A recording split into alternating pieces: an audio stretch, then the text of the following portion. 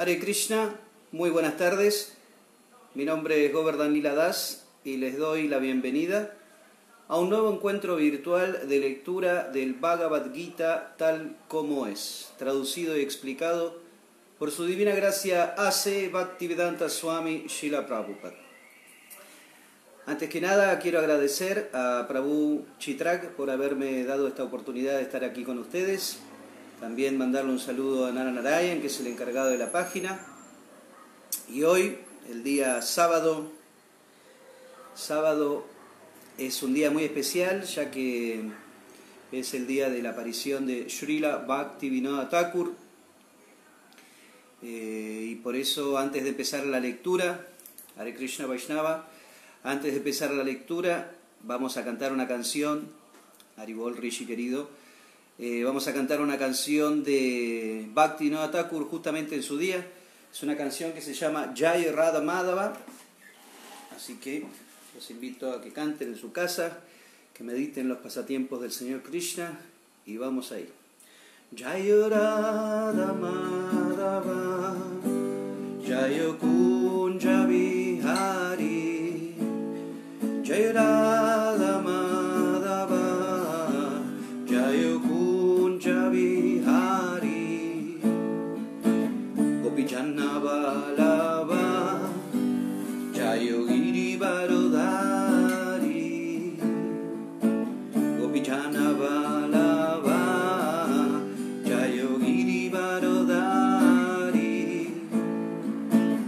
Jasudhanandana Jayuvraja Janaranjana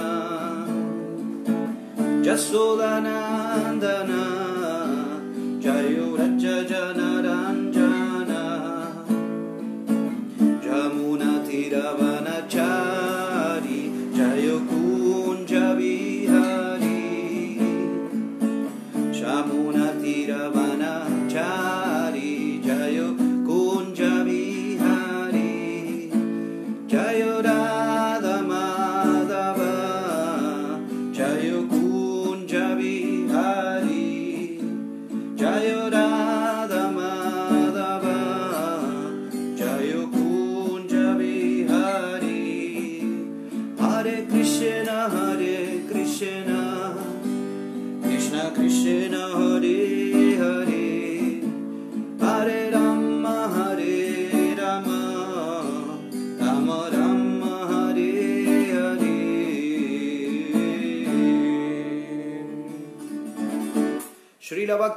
Thakur ki Srila Prabhupada ki Entonces sean todos bienvenidos nuevamente a un encuentro de lectura del Bhagavad Gita tal como es.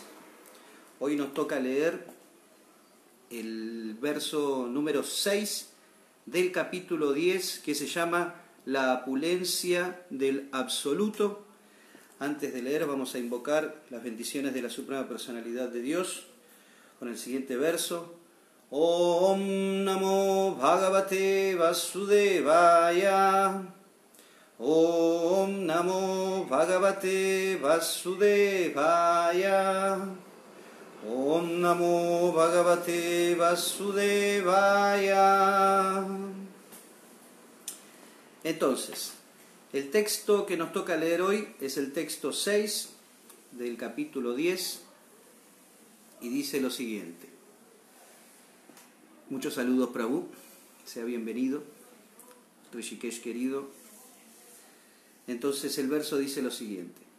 Maharjaya sapta purve chadvaro manavastata madhava manasa jata yeshan loka imam praja Maharshaya sapta purve manavastata madhava manasata jata yeshan loka imam praja Traducción y significados dados por su divina gracia hace Bhaktivedanta Swami Shila Prabhupada de. Entonces la traducción dice lo siguiente. Los siete grandes sabios, y antes que ellos, los otros cuatro grandes sabios y los manus, los progenitores de la humanidad, provienen de mí, nacidos de mi mente, y todos los seres vivos que pueblan los diversos planetas descienden de ellos. Vamos a leer nuevamente. Los siete grandes sabios, y antes que ellos, los otros cuatro grandes sabios y los manos, los progenitores de la humanidad, provienen de mí, nacidos de mi mente, y todos los seres vivos que pueblan los diversos planetas descienden de ellos. Significado. El Señor está presentando una sinopsis genealógica de la población del universo. Brahma es la criatura original que nace de la energía del Señor Supremo, a quien se lo conoce como Hiranyagarbha. Y de Brahma se manifiestan todos los siete grandes sabios, y antes que ellos, otros cuatro grandes sabios, llamados Sanaka, Sananda, Sanatan y Sanat Kumara, así como también los manos. Todos estos 25 grandes sabios son conocidos como los patriarcas de las entidades vivientes de todas partes del universo. Existen infinidad de universos e infinidad de planetas dentro de cada universo, y cada planeta está lleno de diferentes variedades de población. Todos ellos nacen de estos 25 patriarcas. Brahma hizo penitencias por mil años de los semidioses, antes de que por la gracia de Krishna llegara a percatarse de cómo crear.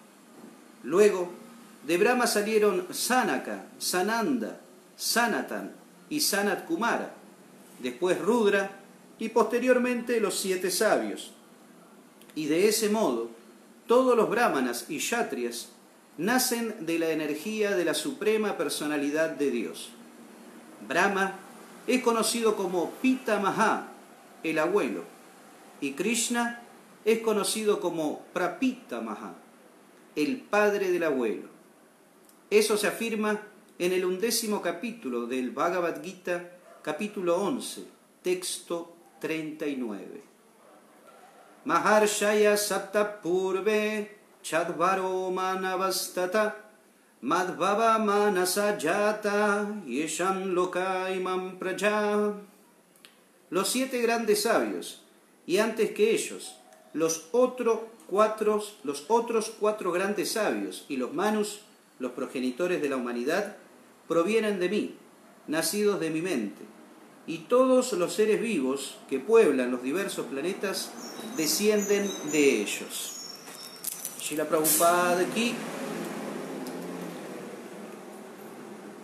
Om Mirandasya Gyananjana Salakaya Chaksurudmilitanjana Tashmai Shri Gurave नमां विष्णुपदाय कृष्णपृष्ठाय भूतले श्रीमते हृदानन्दगोस्वामिनीति नामिने नमस्ते गृहंसाय प्रमनन्दमिदसे प्रौपाद प्रमुदायस्तसिद्धान्तनासिने नमां विष्णुपदाय कृष्णपृष्ठाय भूतले श्रीमते भक्तिवेदान्तस्वामिनिति नामिने नमस्ते सरस्वती देवि गौरवाणि प्रचारिणे निर्विशेषशून्यवादि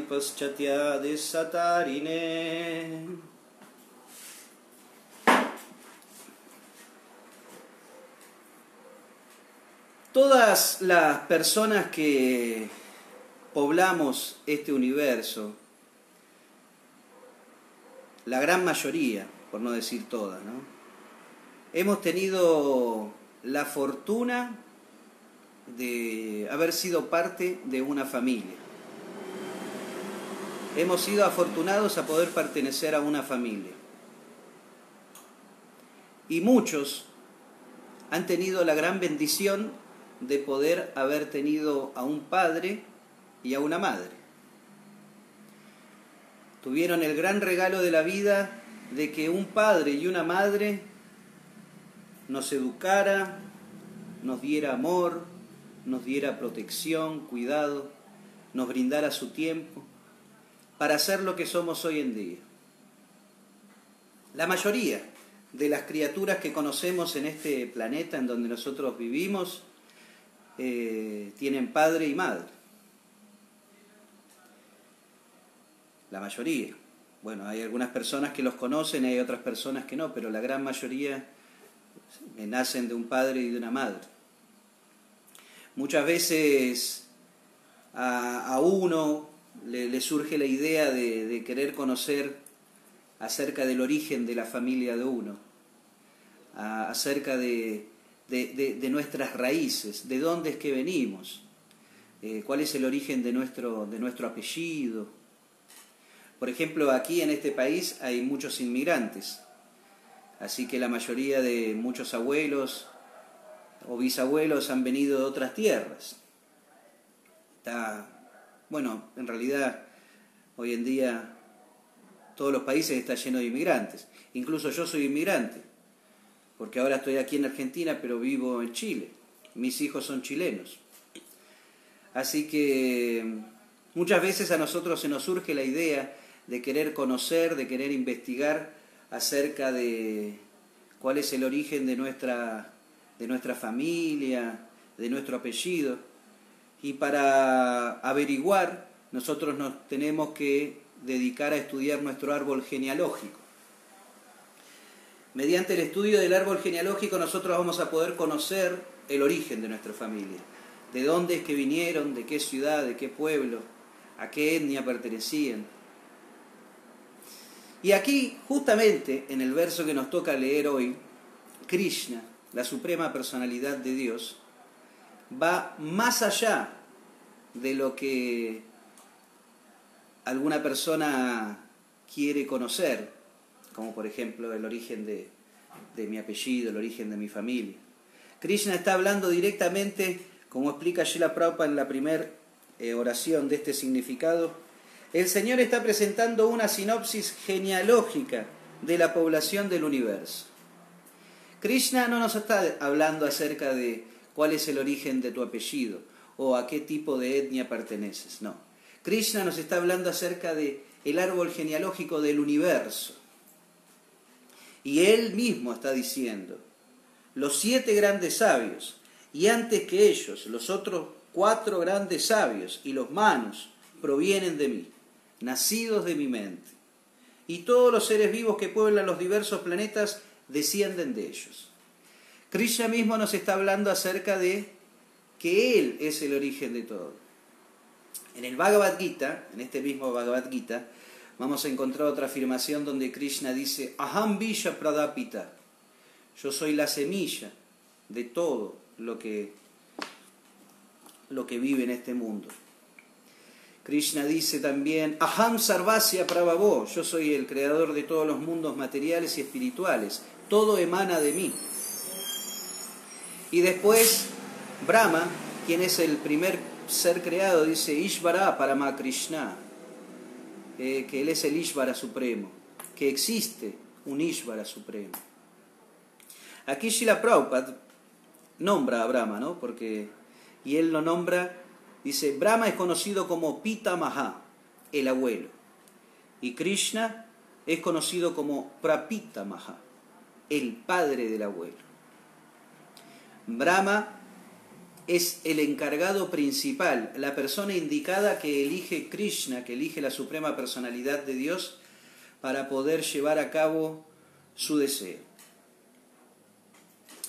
Por ejemplo, si, si yo quiero conseguir una casa, primero tengo que tener los recursos para poder adquirir una tierra o una casa, capaz, ¿no? Pero normalmente la mayoría de las personas siempre adquiere una tierra, ya sea en el campo, la puede adquirir en la ciudad, cerca de la playa, cerca de algún río, en las montañas. Y una vez que las personas tienen su tierra, ellos tienen que tener muchos recursos para poder llevar a cabo su, plan, que es la fabricación y construcción de una casa, ellos deben contratar a un maestro mayor de obras, que va a ser el encargado de la construcción de, de esa casa. Va a ser el encargado de que se manifieste nuestro deseo, que es tener una casa propia, que es liberarnos de ese candado que es el alquiler, imagínense. el alquiler que es una gran cárcel, la gente que tiene que pagar para vivir en una casa. Pero cuando uno tiene los recursos y puede eh, llevar a cabo su sueño de la casa única, ellos tienen que conseguir un, un maestro mayor de obras, que este maestro mayor de obras no solamente viene él, sino que él viene con todo su equipo. Porque en una construcción no solamente hay que levantar paredes y poner techos, para ese tipo de personas hay un encargado. Después también hay que poner cañerías, hay otro encargado para eso. Hay que poner electricidad, hay un encargado para eso. Hay un encargado que hace los planos. Hay diferentes tipos de, de jugadores que tienen su, su papel indicado en ese proyecto que es la construcción de un hogar para una persona. De la misma manera, la suprema personalidad de Dios, como Él tiene a muchas, muchos hijos, Él es el Padre Supremo, así que imagínense la cantidad de hijos que tiene Dios. Eh, él tiene una gran cantidad de hijos que son bastante rebeldes y que no quieren vivir en su hogar. Ellos quieren tener una vida independiente de Dios. Y debido a eso, y como Krishna es muy buena onda, Krishna no es un tirano que castiga a sus hijos y nunca más le habla, no. Krishna es muy misericordioso y él quiere mucho a sus hijos. Y como él quiere mucho a sus hijos, él dice, bueno, ok, tú no quieres estar aquí conmigo, te voy a fabricar un lugar especial en donde tú vas a tratar de satisfacer todos tus deseos. Y es por eso que Krishna, la suprema personalidad de Dios, tiene que manifestar todos estos universos. Y la persona indicada que lleva a cabo el plan de la suprema personalidad de Dios es el señor Brahma. Brahma, como dice aquí, Pita Maha, el abuelo, Brahma.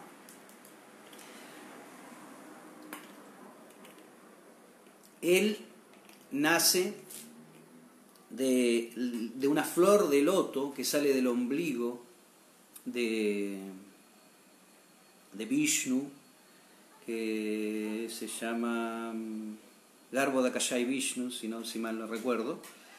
Y cuando él surge de, de esa flor de loto y se encuentra ante toda esta pieza vacía, porque en realidad él se encuentra en una pieza vacía donde no hay absolutamente nada, un espacio vacío. Él mira hacia la derecha cuando mira hacia la derecha le surge una cabeza al costado. Él mira hacia el otro lado, le surge otra cabeza para ese lado. Mira al norte, el sur, le surgen cuatro cabezas, donde él puede observar todo lo que... Y no hay nada, no hay absolutamente nada. Pero él llega a escuchar, a percibir una vibración. Y esa vibración, él puede entenderla como tapá, tapá, tapá. Tapá significa penitencia, austeridad. Como él es muy inteligente, dice, bueno, si me están diciendo tapá, tengo que hacer austeridades. Entonces, como dice Shila Prabhupada aquí, en, este significado,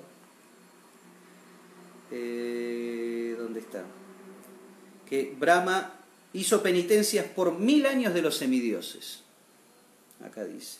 Todos ellos nacen de estos 25 patriarcas.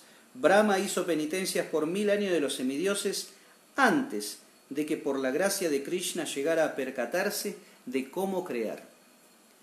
Mil años de los semidioses. Shila Prabhupada explica en el Srimad Bhagavatam que una noche de los semidioses son seis meses de nuestros años, de nuestra vida, seis meses nuestros. Imagínense, mil años de los semidioses es una gran cantidad de tiempo, muchos años. Y él después de esos mil años de, de austeridades meditación, Krishna se le revela en el corazón y le imparte todo el conocimiento necesario, todas las herramientas que él necesita para poder llevar a cabo el plan que es el fundar todo este universo, el crear todo este universo, Krishna se lo imparte directamente en el corazón.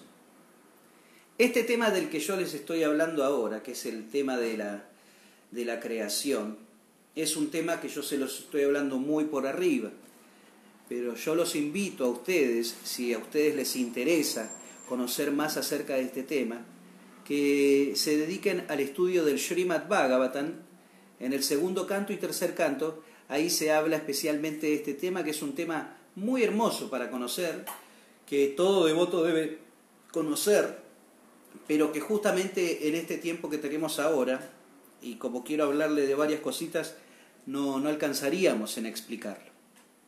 El Srimad Bhagavatam, el, el Bhagavad Gita es hablado por Krishna a su devoto Arjuna, es la suprema personalidad de Dios mismo hablando, y el Srimad Bhagavatam es, eh, son los devotos de Krishna hablando de Krishna.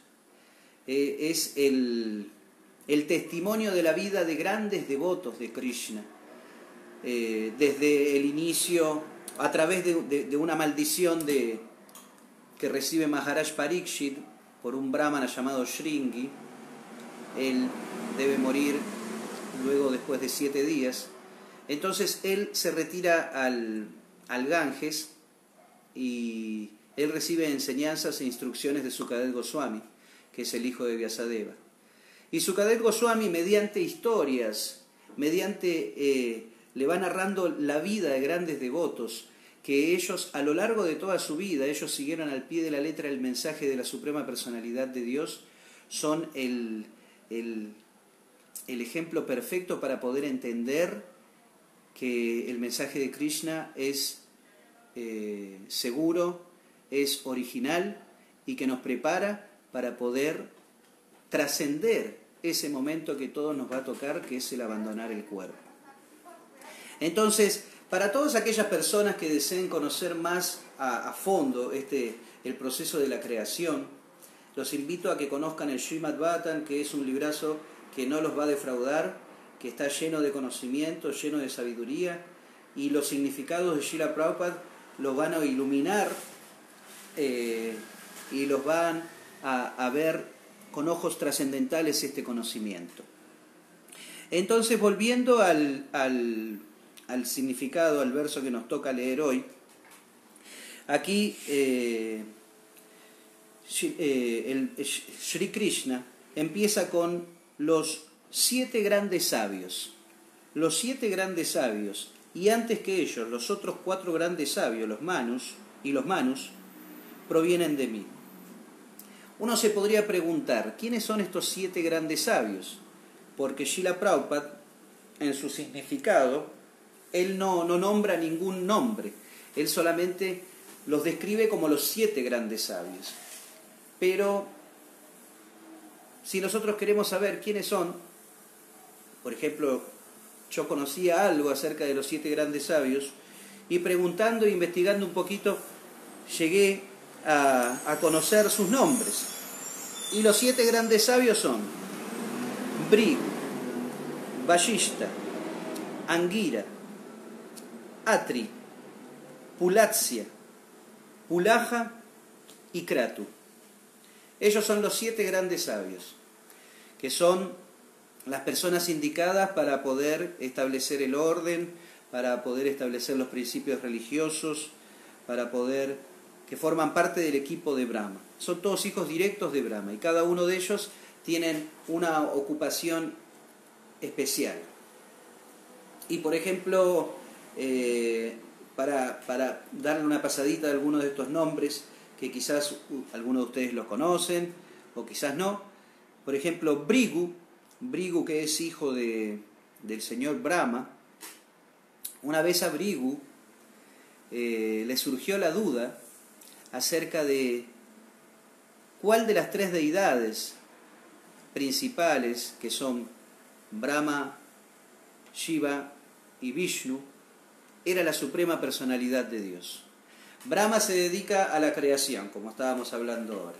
Vishnu es el que mantiene y Shiva es el que destruye.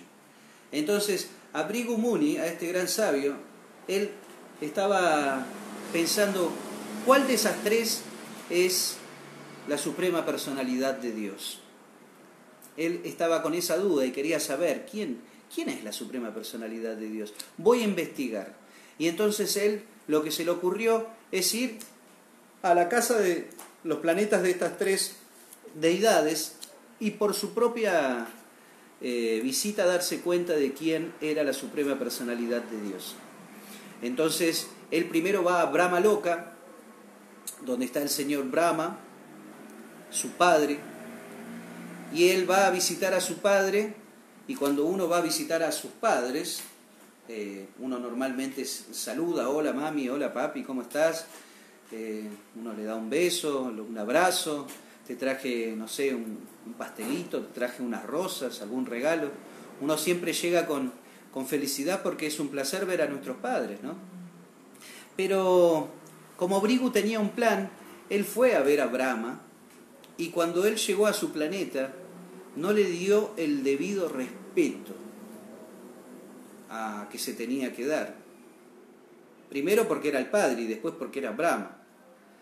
Así que él no le dio ningún respeto a Brahma. Él llegó y Brahma lo vio y dijo, pero por lo menos buenos días, hola, ¿qué tal? No, no, no le dio absolutamente ningún respeto. Y Brahma se enojó. Brahma se enojó al punto de que quería castigarlo. Y entonces estuvo a punto de castigarlo, pero Brigu salió, salió volando de ahí. Se fue, huyó. Huyó del castigo de su padre. Entonces de ahí fue al planeta del señor Shiva. Fue al planeta del señor Shiva a verlo, que es su hermano el señor Shiva. Y entonces, cuando él llegó al planeta del señor Shiva, el señor Shiva lo vio y corrió a abrazarlo. Corrió a abrazarlo porque se puso contento de que su hermano lo había venido a ver. Y cuando lo quiso abrazar el señor Shiva a Brigu, eh, Brigu le dijo, pero no me toques, estás lleno de cenizas. El señor Shiva siempre tiene en su cuerpo ceniza del crematorio.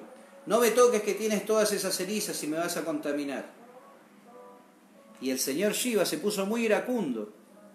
Se puso tan iracundo que agarró su tridente y dijo, te voy a cortar la cabeza. Y entonces eh, Brigu tuvo que tomarse el primer taxi que estaba en la puerta. Salió de vuelo de ahí. Le quedaba solamente Vishnu.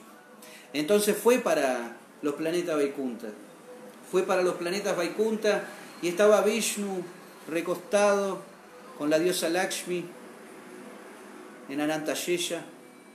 Y él llegó y antes de que Vishnu se, levantara, Brigu fue y le pegó una patada en el pecho a Vishnu.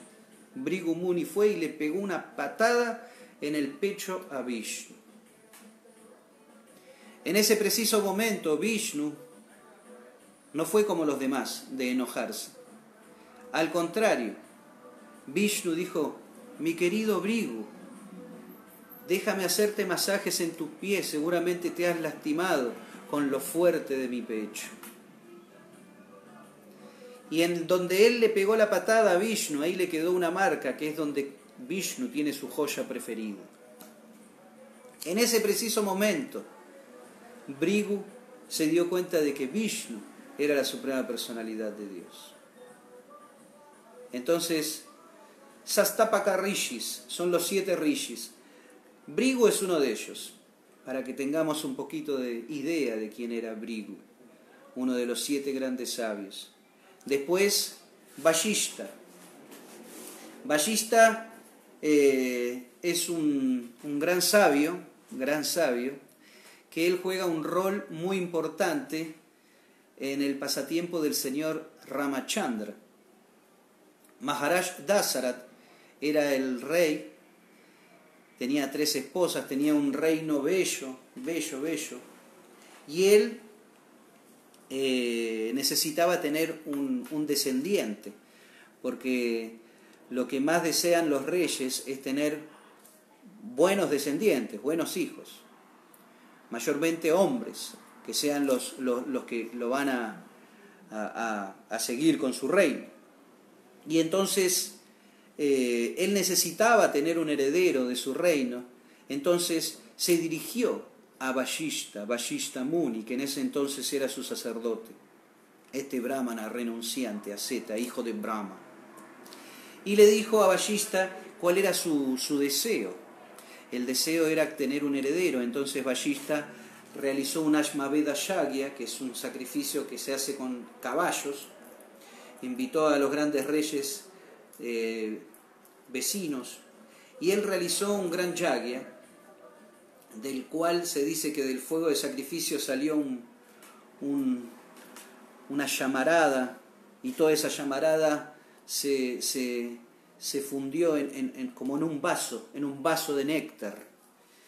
Y ese vaso de néctar, Ballista se lo pasó a Dasarat y Dasarat se lo pasó a su esposa que se llamaba Caushalia. Caushalia era la principal, la principal de ellas.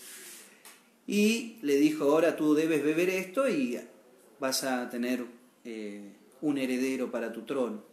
Caushalia, como era una, una reina muy buena, muy misericordiosa con las otras esposas, le dio un poquito a Sumitra y le dio un poquito también a Kekeyi. Entonces, eh, de Kaushalya nació Ramachandra, de Sumitra nació Lakshman y Satrunya, y de Kekeyi nació Bharata. Y ese es el famoso Vashishta. A él eh, se le debe mucho debido a que él realizó ese sacrificio que hizo que Maharaj Dasarat pueda tener un heredero y que la suprema personalidad de Dios pueda descender a este planeta a realizar sus eternos lilas como Sita Ram y Lakshman. Y después los que siguen son Angira, Atri, Pulatsya, Pulaja, Kratu, que son grandes sabios, grandes sabios. No conozco mucho sobre ellos, pero hay algo que es eh, consultando con varios devotos, ellos me dijeron, aparte de esos siete grandes sabios, también a esos siete grandes sabios se les, se les, se les, suma tres grandes sabios más. Y esos tres grandes sabios más son Vishwamitra, Yamaagni y Kashyapa. Y justamente Vishwamitra y Vashista, ellos tienen una relación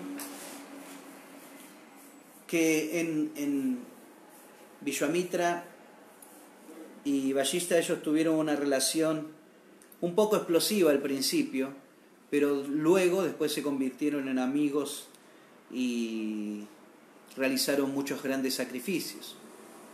Por ejemplo, Vishwamitra, Vishwamitra antes de ser un sabio, antes de ser un, un gran rishi, él era un rey, un rey que gobernaba, que gobernó por miles de años. Eh, en esa época ellos vivían miles y miles de años, cien mil años. Y entonces él gobernó durante diez mil años. Y en una de su, de su, en esa época él agarró su ejército y se fue a una campaña. Los reyes siempre armaban campañas cuando estaban cortos de recursos, cuando querían seguir conquistando más tierras, tener más, expandir su reino.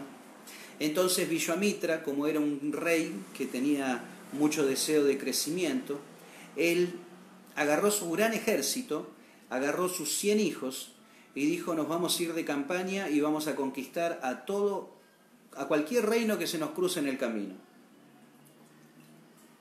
Y entonces él empezó su campaña y llegaron a un lugar paradisíaco, que el Ramayana lo describe como, como una tierra celestial, cerca de los Himalayas, donde ahí había bellos lagos llenos de flores, muchas piedras, y ahí es donde vivía una gran cantidad de rishis, y el líder de todos estos rishis era Vashishta, Vashishta Muni. Entonces Vishwamitra, Vishwamitra, cuando lo ve al sabio, cuando se entera de que él es el líder, lo va a saludar, eh, le ofrece sus reverencias. Y Vashista queda muy satisfecho con su presencia, intercambian muchas conversaciones y como el deseo de Vishwamitra era conquistar tierras y todo ese tipo de deseos que tienen los políticos, eh, él después de un tiempo se quería ir de ahí, porque ahí estaba todo bien, pero él no era lo que en ese momento él buscaba. Pero Vashista Muni deseaba mucho su compañía y le dijo, pero tú debes quedarte aquí un tiempo, quédate conmigo un tiempo. Yo voy a alimentar a todo tu ejército, a tus cien hijos, no les va a faltar absolutamente nada.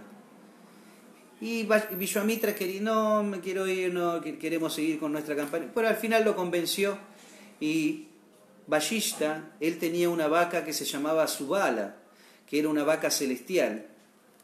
Y esta vaca celestial, eh, bueno, justo me estoy acordando de otra historia que está en el Mahabharata, que los invito a que estudien también, en relación al abuelo Vishmadeva y los siete vasos. Pero esa es otra historia. Bueno, pero eh, contándole lo que pasó con Vishwamitra y, y Vashista, eh, tenía esta vaca y él le dijo a su vaca Subala, mira, eh, yo quiero que tú complazcas todos los deseos que ellos tienen, quiero que le des toda la comida que ellos necesiten. Y esta vaca de su cuerpo hizo manifestar una gran cantidad de comida, imagínense, esta era una vaca milagrosa que manifestaba todo lo que quería. Entonces le entregó, se dice que le entregó grandes platos ricos, deliciosos, dulces, salados, que hizo, eh, eh, creó un, lago de yogur, un lago de jugos exquisitos. Y todo el ejército y los cien hijos de Vishwamitra quedaron muy satisfechos, quedaron muy satisfechos y bien alimentados y estaban así, pero estaban recontra felices como lo estaban tratando. Pero Vishwamitra, que él tenía un poquito de, de picardía, vio a la vaca y se puso un poco envidioso y dijo, esta vaca me vendría bien en mi reino. Fue lo mismo que le pasó a, la, a una de las esposas de los Vasos, que quiso tener esa, esa vaca también. Una vaca especial. Entonces, él le dijo a Bashista Muni, le dijo, querido Bashista, eh, yo creo que esta vaca me vendría perfecto en mi reino, ya que como tú sabes, eh, yo soy rey y tengo que complacer a mi, a mi pueblo. ¿Por qué no me la entregas? Así yo le doy placer a mi pueblo. Y Ballista Muni estaba muy apegado a esa vaca debido a que la vaca lo ayudaba a él en todo lo que él necesitaba. O sea, la única riqueza que él tenía era su vaca. Con él con esa vaca él tenía todo lo necesario que necesitaba para hacer sus llagas, sus ceremonias. Y entonces le dijo, no, yo estoy muy apegado a mi vaca y no te la puedo entregar. Ella es como mi hija, estamos siempre unidos y somos un buen equipo, no te la puedo entregar. Y entonces Vishwamitra se puso muy enojado porque él era un rey y no estaba acostumbrado a que le digan no a nada. Y él le dijo, mira, yo soy un rey, y lo natural es que si hay algo que yo quiero, lo cojo. Y si no lo, si no lo obtengo, si no lo obtengo, lo obtengo a la fuerza. Y como ves, tengo un gran ejército. Si tú no me quieres entregar de buena onda tu vaca, te la voy a sacar. Entonces, Ballista dijo, you decide. Tú puedes hacer lo que desees haz lo que quieras, si tú quieres llevártela. Y entonces Vishwamitra agarró, llamó a sus cien hijos y le dijo, nos vamos a llevar a la vaca. Y empezaron a llevarse a la vaca. Se quisieron llevar a la vaca y la vaca, que la vaca era una gran personalidad, no solamente entregaba cosas, sino que era una persona sabia en cuerpo de vaca, le dijo a, a, Ballista, pero, pero, Ballista, ¿qué me estás haciendo? Me estás dejando raptar por estos, por estos soldados. Me vas a dejar a mí sola. ¿Cómo vas a dejar que me, que me rapten? Y Ballista, como él era una persona muy sabia y sabía que su bala, eh, ella podía hacer lo que quería, sí, te voy a dejar. Y entonces, cuando los cien hijos de Vishwamitra se quieren llevar a la vaca, su bala, del cuerpo de su bala se manifiesta todo un gran ejército de guerreros poderosísimos que empieza a matar a todo el ejército de Vishwamitra. Los empieza, empieza a arrasar con todos. Empieza a arrasar con todos al punto que destroza a todo el ejército y mata a todos sus cien hijos. En ese momento Vishwamitra, completamente solo, queda desconcertado. ¿Cómo es posible? Esta vaca es poderosísima. Y él le ofreció perdón a, a Ballista, y Ballista, como era una persona muy sabia, le dijo, no hay ningún problema, sigue tu camino. Pero Vishwamitra quedó muy mal pegado por eso. Entonces se fue él, se fue y se dedicó a hacer austeridades, grandes penitencias. Grandes penitencias porque él había perdido absolutamente todo. La riqueza de un rey es su ejército, sus hijos. Si no tiene ejército, si no tiene hijos, no puede ser rey. Entonces él se dedicó a hacer grandes penitencias. Se dice que en invierno él se metía dentro del lago, así, a meditar. Y en verano él ponía fuego alrededor para seguir meditando. Súper, súper austero. Se alimentaba solamente de aire. Solamente poderoso espiritualmente se estaba volviendo debido a las tapacias, debido a las austeridades. Y entonces, luego de un largo periodo de penitencias, él eh, se, le manifestó el señor Shiva. Se le manifestó el señor Shiva y el señor Shiva le dijo, mi querido Vishwamitra, ¿qué deseas? ¿En qué puedo complacerte? Y el señor Vishwamitra le dijo al señor Shiva, mi deseo es que tú me des el secreto del maneje de todas las armas, de todas las armas divinas, de todos los astras, no solamente el Payupata, que es tu astra, sino también el Agni Astra, el Vayu Astra, el Vishnu Astra. Y el señor Shiva dijo, que así sea. Le entregó y desapareció. Inflado de orgullo, inflado de orgullo así, de Kshatriya. Vishwamitra se dirigió a la ermita de Vashista. Se dirigió a la ermita de Vashista y lo empezó a atacar con diferentes tipos de astras.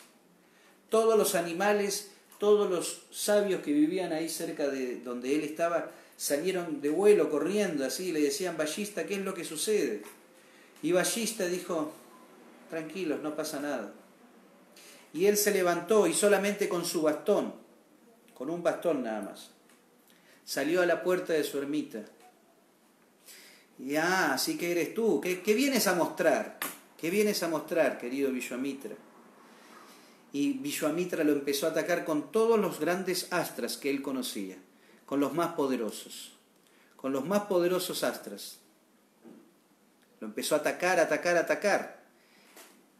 Y, y Ballista solamente con el palo, con su bastón, estaba parando a todos los astras. Los astras son bombas nucleares y hay astras que son especialmente para la destrucción del planeta. Hay astras que son terribles y que si se usan en gran cantidad pueden destrozar todo. Entonces, cuando pasaba todo esto aquí, todos los semidioses se pusieron muy preocupados y dijeron, no, acá abajo hay una pelea terrible y están usando todos los astras y en cualquier momento va a explotar todo. Y ellos le dijeron a Ballista, por favor, Ballista, para con toda esta locura porque si no vas a destrozar todo. Y entonces Ballista paró, y en el momento que Ballista paró, Vishwamitra se dio cuenta y le dijo, ni con todos los astras divinos puedo destrozar el poder de Brahmana que tienes tú. Y Ballista nuevamente, nuevamente, como era tan sabio, lo perdonó. Lo perdonó y le dijo, no hay ningún problema no hay ningún problema, ve y hace tu vida. Él se fue nuevamente, se fue nuevamente a hacer austeridades, más penitencias, más penitencias. Se volvió poderoso, se volvió poderoso, pero no tan poderoso como para destrozar a Ballista, pero se volvió poderoso. Y en esa misma época Ballista empezaba a trabajar para el reino Dasarat, para el, para el padre de Rama. Lo que conté al principio de Ballista y de Ramachandra todavía no había acontecido, pero iba a acontecer en un futuro. Y en ese momento él se va para, para el reino de Maharaj Dasarat, y en esa época había un rey que se llamaba Trishanku, y este Trishanku era un rey muy ambicioso, y él quería ir a los planetas celestiales pero sin realizar penitencias, sin realizar yagias, o sea, yagias sí, pero sin realizar lo normal que se, que se realiza para ir a los planetas celestiales. Y entonces él fue a hablar con Ballista, este rey que se llamaba Trishanku, y le dijo, Ballista, mi deseo es que hagamos un sacrificio por el cual yo me pueda ascender a los planetas celestiales. Y Ballista lo mira y le dice, pero eso no es posible. Si tú quieres ir a los planetas celestiales, tienes que realizar austeridades, tapacias, actividades religiosas. Y al abandonar tu cuerpo, ahí sí tú puedes ascender a poder nacer en, los planetas celestiales. Yo no puedo hacer eso. Y entonces este Trishanku queda muy enojado con la respuesta que le da Ballista y él se dirige a Vishwamitra, porque él ya sabía de que Vishwamitra y Ballista tenían una lucha constante. Una lucha constante, una lucha de miles de años. En esa época la gente vivía miles de años. Entonces él se dirige a Vishwamitra y le dice, Vishwamitra, me gustaría hacer esto. Fui a hablar con Ballista, Ballista no quiso hacerlo, pero creo que tú vas a poder lograrlo. Y entonces él, Vishwamitra, acepta hacer este yagya realizan el yagya, puede ascender este caballero a los planetas celestiales, pero cuando está a punto de entrar a los planetas celestiales, Indra en la entrada le dice, pero tú no puedes entrar aquí, fuera de aquí, aquí solamente entras después de hacer penitencias, aquí entras solo después de hacer austeridades y actividades religiosas. Entonces, Trishanku cae nuevamente a este mundo y Vishwamitra lo recibe, pero Indra, como sabía que Vishwamitra estaba realizando muchas eh, austeridades, sabía que era poderoso, Vishwamitra baja directamente a hablar con, no, Indra baja directamente a hablar con Vishwamitra para decirle que no era correcto lo que estaba haciendo. Pero Vishwamitra, como era un Kshatriya, él tenía mucho orgullo y le dijo a Indra, ¿pero qué me estás diciendo? Estás faltando el respeto a mi palabra. Si yo le dije a él que él podía ascender, entonces Indra se puso muy miedoso y dijo, ok, ok, fantástico. Y pudo, pudo llegar a los planetas celestiales, este Trishanku. Pero luego de que un brahmana, un gran sabio, hace un gran sacrificio o entrega una maldición, él pierde mucho Shakti. Cuando él pierde mucho Shakti, él tiene que nuevamente empezar a hacer austeridades y penitencias para poder llenarse de esa energía espiritual. Entonces, como Indra sabía de que este caballero Vishwamitra había hecho esto, este yagya y que luego de haber hecho este yagya iba a quedar bastante débil, él dijo, ya sé cómo podemos liberarnos de este Vishwamitra, porque él tenía miedo, porque eh, a lo largo de toda la literatura védica se, cuenta, se cuentan casos de personas que mediante las austeridades y las penitencias lograron muchos beneficios al punto de eh, derrocar eh, a Indra o matar a semidioses y es por eso que los semidioses siempre le piden a, Krishna para que baje y mate ese demonio. Entonces a Indra se le ocurre la idea de mandarle a una apsara para que lo agite y para que lo, lo desvíe desde, de su posición en la que se encontraba. Si él se desviaba de esa posición, él iba a perder fuerza y no iba a ser un peligro para los semidioses. Entonces, a la persona indicada que envía Indra es a Menaka. Y Menaka desciende, y justo en esa época eh, Vishwamitra estaba meditando debajo del agua. Menaka desciende y se mete en el agua, y con el agua toda transparente y mojada, y con el tintineo de sus tobilleras rompe la meditación de Vishwamitra. Y Vishwamitra, como la ve tan hermosa, como la ve como una diosa, él dice, wow, tú debes quedarte aquí conmigo. Y te puedes quedar aquí en mi ermita. Y como yo soy un, un sabio que no me muevo por las leyes de este mundo, no me va a afectar en nada. Y se quedó 100 años, 100 años con, con Vishwamitra. Después de esos 100 años que pasaron como un instante, Vishwamitra se dio cuenta y dijo, wow, he desperdiciado 100 años solamente por disfrutar de tu belleza. En ese momento Menaka le agarró mucho miedo porque dijo, wow, ahora este sabio me va a maldecir y vaya a saber la maldición que me da. Pero no, Vishwamitra le dijo, he descuidado mi vida espiritual debido a tu belleza, así que te pido por favor que te marches. Márchate de aquí, por favor. Y entonces se va. Y Vishwamitra sigue, sigue con sus penitencias. Vishwamitra estaba determinado a volverse un rishi, a volverse una persona así avanzada, un yogi renombrado por todo el universo. Y entonces Indra nuevamente le manda otra apsara de nombre Ramba. Ramba se llamaba esta señorita. Y cuando Indra le envía a esta apsara, Vishwamitra se da cuenta y dice, no, dos veces no me va a pasar. Y tú me quieres, me quieres cautivar, yo te voy a maldecir. Y la maldijo la maldijo a que nazca, a que viva, se transforme en una piedra durante mil años. Y ahí siguió con su meditación. Se volvió tan poderoso, tan poderoso que todos los semidioses dijeron, este Vishwamitra no lo podemos parar con nada. Es imposible pararlo. Tenemos que buscar una solución. Entonces fueron a hablar con Brahma, fueron a hablar con el señor Brahma, y Brahma, como es el padre de Vashishta, se dirigió a donde estaba Vishwamitra, se dirigieron los dos, se dirigieron los dos y le dijeron, ya está Vishwamitra, ya te has transformado en un gran rishi, ya eres aceptado por toda la comunidad de rishis como un gran sabio, basta de, basta de pleitos. Vashista en ese mismo momento lo, lo, bendice, tú ya eres un gran sabio. En ese mismo momento Vishwamitra se, da cuenta de todo lo que había hecho y, le, brinda oraciones, le brinda reverencias y dice muchas gracias. Y ahí se vuelve nuevamente amigo de, de Vashishta.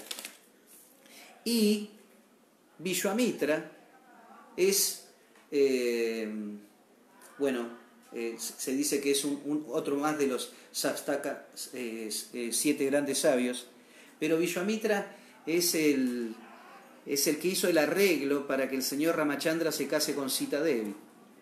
Así que van de la mano. Esa es otra historia también larga que, lleva otro tiempo. Y entonces esos son los siete grandes sabios. Solamente le estuve hablando de tres nada más, pero los otros los pueden averiguar ustedes, los pueden conocer ustedes. Y luego también aquí en este verso nombra a los cuatro Kumaras. El señor Brahma como ya les dije, él tenía que armar su equipo para poder llevar a cabo el deseo de la suprema personalidad de Dios. Y él entonces, él eh, crea estos cuatro kumaras y le dice, ustedes tienen que dedicarse a, a crear prole, a poblar el universo. Pero los cuatro kumaras, como eran grandes sabios y sabían qué venía detrás de, ese gran servicio, que es poblar el universo, crear prole, reinos, hijos, esposas. Todo ese tipo de enredos ellos no querían saber nada. Ellos dijeron, no, nosotros nos vamos a dedicar al estudio analítico de la filosofía, de los Vedas. Nosotros no vamos a hacer lo que tú nos dices. Y cuando él le dice eso a su padre, ¿cómo se ponen sus padres cuando les decía, les daba una orden y ustedes no querían hacerlo? Bueno, mi papá se ponía como loco. Entonces Brahma también se puso así, se puso iracundo, se puso tan iracundo que entre medio de su ceja, así, de acá, de acá en el medio, le salió una, una manchita. Esa manchita fue creciendo y de ahí se manifestó el señor Shiva, el señor Rudra. Todo por, por, por la ira del señor, del señor Brahma. En el Bhagavad Gita Krishna nos enseña cuándo es que Él desciende y por qué es que Él desciende.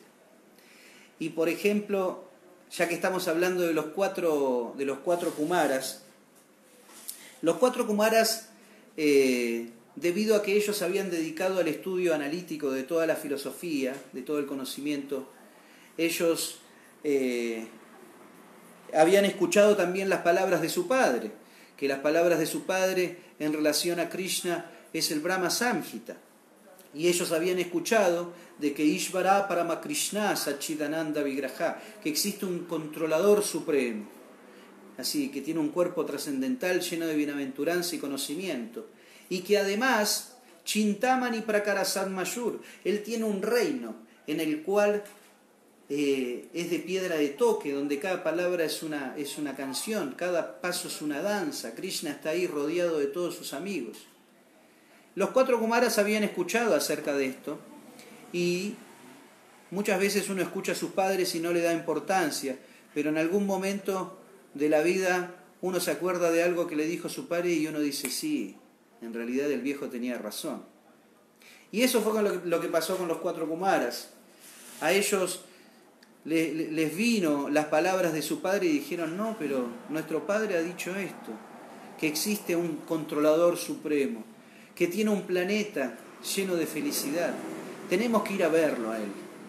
Y entonces ellos se dirigieron a los planetas Vaikunta para ver a esa persona de la cual su padre le había hablado tanto.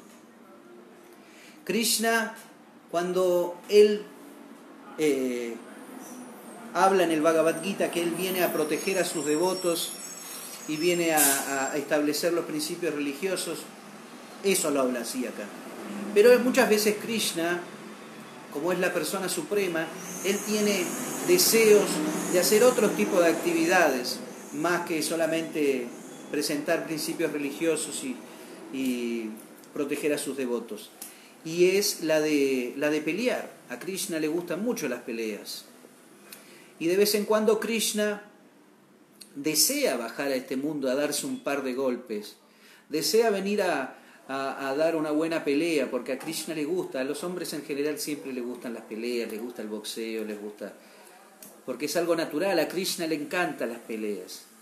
Y como Krishna deseaba, deseaba darse unas buenas peleas, Krishna hizo todo ese pasatiempo con los cuatro Kumaras, porque los cuatro Kumaras van a los planetas, eh, a Vaikunta, y ellos quieren entrar, pero como en todo gran palacio siempre hay un portero, cuando ellos llegaron a los planetas Vaikunta, se encontraron que habían unos portales bellos, gigantes, y habían dos guardias, Jai Vijay. Y entonces ellos quisieron entrar, pero los guardias le dijeron, no, aquí no entras, aquí solamente entran los devotos de Dios, los que tienen amor por Dios. Y estos brahmanitos, porque se dice que los cuatro kumaras no crecen más de cuatro años, tres años, no sé bien exacto, eh, eran chiquitos pero bastante iracundos. Entonces ellos se pusieron muy iracundos con estos guardias y le dijeron, pero ¿qué nos estás diciendo? Nosotros somos hijos de Brahma, el Creador. Te vamos a maldecir. Y como Krishna está en el corazón de todos, Krishna sabía lo que estaba pasando en, la puerta de su casa. Krishna sentía todo el pleito que estaba, que estaba ahora mismo pasando en la puerta de su casa. Y Krishna se presenta ante los cuatro Kumaras. Y los cuatro Kumaras ya habían dicho ya la maldición. Y la maldición era de que ellos van a, van a nacer en este mundo en este mundo de los hombres. Y Krishna, por misericordia, él le dice, bueno, ellos van a nacer, pero van a nacer para pelear contra mí. Y entonces es por eso que aparece Iranyaksha, Iranyakashipu, Ravana y Kumbhakarna, y después el otro nacimiento no me lo acuerdo, así que si alguien se lo acuerda, lo pone en los comentarios. Y en ese momento, Haribol, y en ese momento es cuando los cuatro Kumaras pueden tener el darshan de la suprema personalidad de Dios y ellos sintieron la fragancia que emanaba de las hojas de loto de los pies de la Suprema Personalidad de Dios y ahí ellos se dieron cuenta de que Krishna estuvo Bhagavan Swayam. Krishna es la Suprema Personalidad de Dios. Entonces este es un verso que yo me fui por las ramas y me puse a hablar acerca de todas estas grandes personalidades, pero es para que nosotros nos demos cuenta de que nosotros descendemos de, de grandes personalidades. Primero somos hijos de Krishna, somos hijos de Dios. Y como se dice en este mundo, que hay que hacer valer el apellido, nosotros también tenemos que hacer valer nuestro árbol genealógico. Todas aquellas personas que son devotos sinceros, que han tenido su segundo nacimiento, ya forman parte de toda esta gran sucesión de, personas santas. Y es por eso que es deber de todos nosotros que estamos practicando este proceso de conciencia de Krishna, ser un fiel ejemplo de todos esos grandes santos que, que vienen de todo nuestro árbol genealógico, pero no el material, sino el espiritual. Tenemos que ser fieles representantes si nosotros somos fieles representantes, este conocimiento siempre se va a mantener intacto, nunca se va a desvirtuar. El discípulo sigue al maestro, el discípulo sigue al maestro, el devoto sigue votos, y de esa manera todo se mantiene intacto, perfecto. Entonces, hoy les conté acerca de todas estas grandes personalidades para darnos cuenta de todo el linaje espiritual que nosotros tenemos. Justo hoy es el día de la aparición de Bhaktivinoda Thakur, nuestro gran, sería tatarabuelo espiritual, el padre de Bhaktisiddhanta Sarasvati, y Bhaktisiddhanta Sarasvati, el maestro espiritual de Srila Prabhupada, y Srila Prabhupada, el maestro espiritual de nuestro maestro espiritual. Nosotros formamos parte ya de esa, de esa cadena de sucesión discipular. Entonces nosotros tenemos que tornarnos buenos representantes de nuestro Maestro Espiritual. Nosotros tenemos que tornarnos personas que, sí, nosotros seguimos lo que decía este santo, lo que decía aquel santo, y nosotros seguimos con ese mensaje. El mensaje es que nos volvamos serios, que nos volvamos estudiosos, que nos volvamos humildes, respetuosos, siempre refugiándonos en el santo nombre del Señor. Hare Krishna, Hare Krishna, Krishna Krishna, Hare Hare, Hare Rama, Hare Rama, Rama Rama, Hare Hare. Las historias que le conté hoy también es para que nos demos cuenta de que que el, el orgullo no nos lleva a ningún lado, que la humildad es lo que nos va a abrir la puerta a la felicidad, la puerta hacia la felicidad espiritual. Otro camino no hay. El camino espiritual es un camino que tenemos que transitarlo sin deseos materiales. Por algo es espiritual. Al espíritu no se lo puede agarrar con la materia. Para alcanzar al todo hay que dejar todo. Esa es una frase que me encanta, que la dijo un santo católico. Para alcanzar al todo hay que dejar, al, hay que dejar todo. Todos los malos hábitos, todas las malas costumbres. Estudiar la filosofía, la literatura, para darnos cuenta, porque esta literatura, este conocimiento es, es, eh, es el mensaje perfecto para darnos, ¿cómo se dice esa palabra? Es el testimonio perfecto de personas que practicaron este proceso, que tuvieron problemas en su vida espiritual, pero que nunca bajaron la guardia, que siempre siguieron luchando, que siempre estuvieron aferrados a los pies de su maestro espiritual, a las trascendentales palabras de la Suprema Personalidad de Dios, Krishna, a las instrucciones de su devoto puro, Shila Prabhupada. Y así es la vida espiritual. La vida espiritual está plagada de cosas bellas, pero las cosas bellas no son fáciles de ganar. Así que si alguien quiere dar alguna, alguna opinión, hacer alguna pregunta, este es el momento. Ojalá que se haya escuchado. Eh, si no, los paso a saludar a todos los devotos. Miguel, te mando muchos saludos.